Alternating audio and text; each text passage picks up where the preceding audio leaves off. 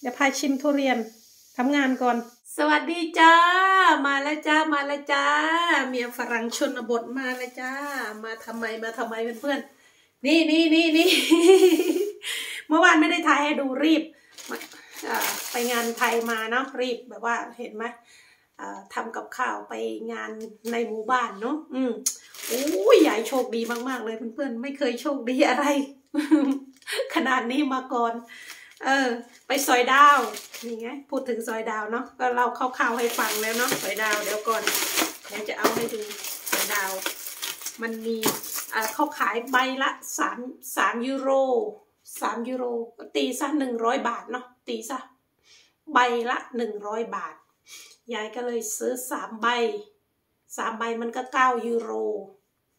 เนาะสามใบเก้ายูโร ก็ถือว่าสามสามร้อยบาทเนาะ คิดง่ายๆนะสามร้อยบาทสามใบสามร้อยบาทเออเอาไป ได้ไรนะ ที่ยายไป ได้อันนี้กับได้อันนี้ครั้งแรก กับเงินอุ้ยรางวัลใหญ่ตื่นเต้น เงินอีกหนึ่งร้อยยูโรหนึ่งร้อยยูโรประมาณสามพันเจ็ดร้อยบาท เออ เนาะ ซื้อหมดไปสามร้อยได้เงินสามพันเจ็ดร้อยบาท ใบหนึ่งนะได้สามพันเจ็ดร้อยบาท อีกใบหนึ่งก็ได้อันเนี้ย ขนมอะไรก็ไม่รู้นี่นะ แล้วก็อันเนี้ยไอไออะไรนะไอ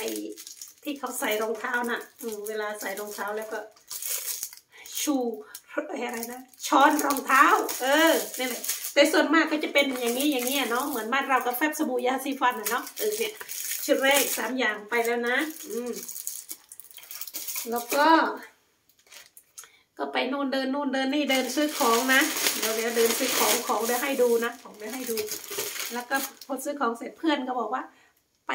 ไปอีกรอบหนึ่งไปซอยดาวอีกรอบหนึ่งไหมอย่างเงี้ย อืมเอาอีกไหม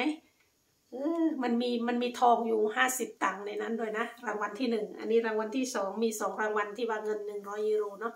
เออทีนี้เขาบอกไปอีกไหมว่า เออไปก็ไปยายก็ไปซื้ออีกสามใบเออใบละหนึ่งร้อยเนาะเก้ายูโรเนาะสามสามสามสามก็เป็นเก้ายูโรเนาะ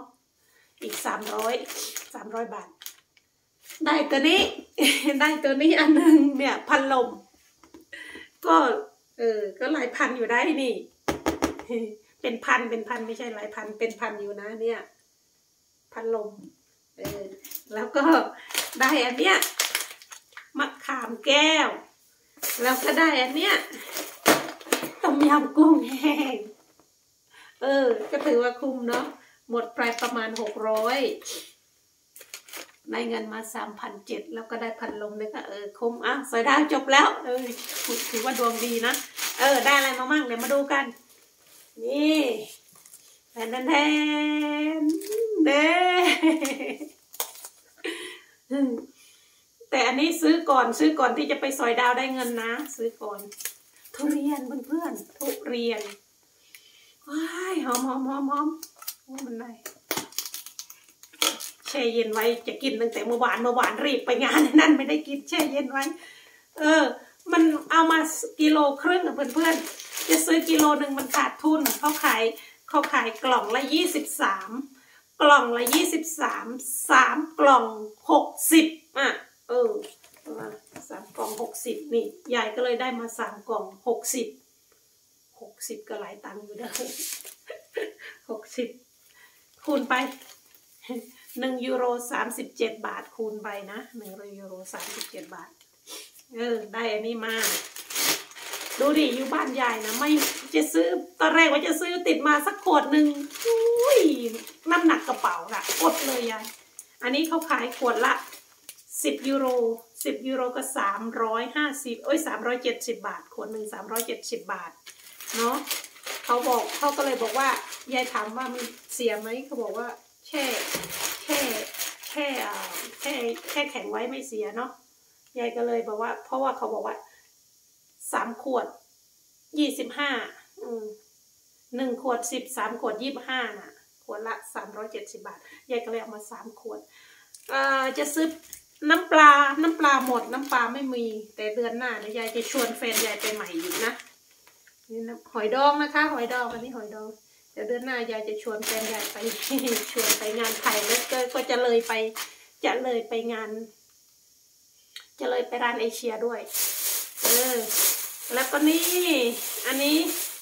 เกิดมาก็ไม่เคยซื้อผัก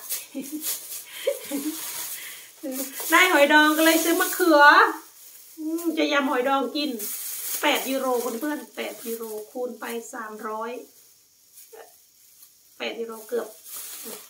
กี่บาท ถ้าสิบยูถ้าสิบยูโรมันสามร้อยเจ็ดสิบอันนี้มันแปดยูโรเนี่ย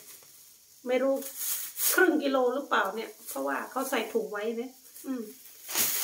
แล้วอันนี้ยถั่วพลูอันนี้ก็คือเขาเขาเขาแบบว่าแพ็คแพ็คละสี่ยูโรไงแพ็คละสี่ยูโรเขาบอกว่า เออไอ้แพ็คละเท่าไหร่จำไม่ได้ ไม่รู้ว่าแพ็คเท่าไหร่นะแต่ว่าเขาบอกว่าแพ็คสี่แพ็คสิบยูโรนะเนี่ยสี่แพ็คสี่แพ็คสามร้อยเจ็ดสิบบาทยายก็เลยเลือกเอามะเขือพวง สองแพ็คแล้วก็อันนี้สองแพ็คอันนี้เอาไว้ตำน้ำพริกกะปิอันนี้ยายแช่แข็งไว้เนาะมะเขือพวง แล้วก็อันนี้น้ำพริกกะปิเฮ้ยเออไว้ยำยำยายคิดว่าเอาอันหนึ่งก็มันน้อยไปยำไม่ใช่กินกับน้ำพริกจะยำยำถั่วพลูกินเนาะเออ แล้วก็เดินไปเดินมาก็ไปเห็นอีกร้านหนึ่งเขาขายอันนี้ห้ายูโรเกือบสองร้อยบาท ร้อยแปดสิบร้อยแปดสิบห้าบาท ถุงหนึ่งเนี่ยนิดเดียวนะสองขีดได้แล้วมั้งไม่ถึงครึ่งกิโลหรอกเห็นอีกก็เลยซื้อมาอีกไว้แช่แข็งไว้ เออ นี่ครั้งแรกในชีวิตเพื่อนๆเอ้ยมาอยู่เยอรมันสิบหกปีแล้ว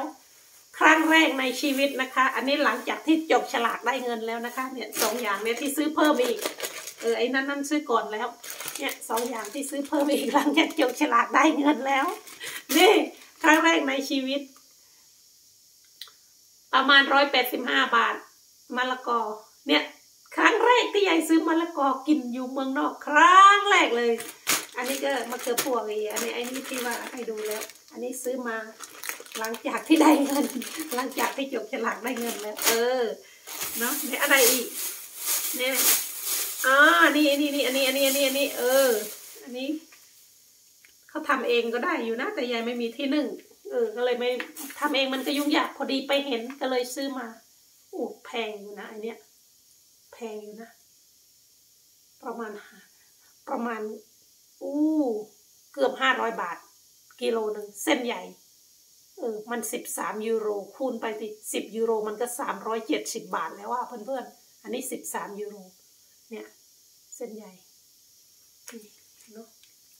ได้แค่นี้แหละเพื่อนๆ ยายบวกลบคูณหารไปทั้งซอยดาวทั้งอะไร ยายหมดไปเออแปดพันกว่าบาทหนึ่งร้อยหกสิบยูโร เท่ากับยายจ่ายเองค่าทุเรียน แล้วเท่ากับยายจ่ายเองค่าทุเรียนหกสิบนอกนั้นค่าจบฉลากได้ รวมหมดเลยนะเออยายรวมไปแล้วหนึ่งร้อยหนึ่งร้อยอ่าหกสิบยูโร ก็ประมาณแปดพัน แปดพันห้านะประมาณ เออ นั่นแหละ ได้ไหมแค่เนี้ย เดี๋ยวให้ดู เดี๋ยวมากินทุเรียนกันเด้อเดี๋ยวไปทำงานก่อน ค่อยมากินเอาทุเรียนไปแช่ไว้ก่อนแค่นี้แหละเพื่อนๆโอ้ยแดดมันสะท้อนอะเพื่อนๆมันย้อนแสงเนาะไปแค่นี้แหละเพื่อนๆเดี๋ยวพาชิมทุเรียนทำงานก่อนคิดถึงคิดถึงถ้าชอบก็ฝากกดไลค์กดแชร์กดติดตามให้ยายตาด้วยนะคะเพื่อนๆโอ้ยโชคดีดวงดีมากเลยวันนี้เอ้เมื่อวานเมื่อวาน เดี๋ยววันที่หนึ่งซื้อหวยดีกว่าเพื่อนๆ